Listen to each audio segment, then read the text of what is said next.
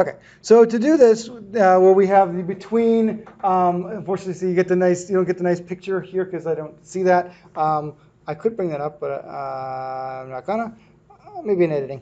Um, so the formula is we take the natural, we take the e of the negative, of the lower bound minus e, of the you know the negative of the upper bound, and to do that, second ln. Okay. Unfortunately, I have the newer calculator, so I can't necessarily do yours, but I'll put it in the parentheses so you can still, those of you who have the older ones, parenthesis, negative. My lower bound is 0.73 divided by my m, my, my mean, which is here is this 0.88,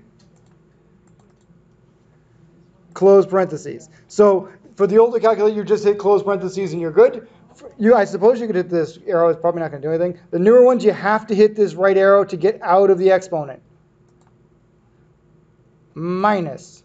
And then I'm going to do it again. Second, e, parenthesis, negative. Now my upper bound is 0.98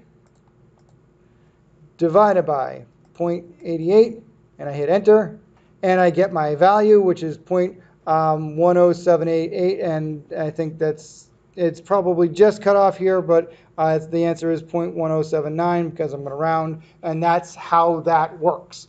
All right. Whew.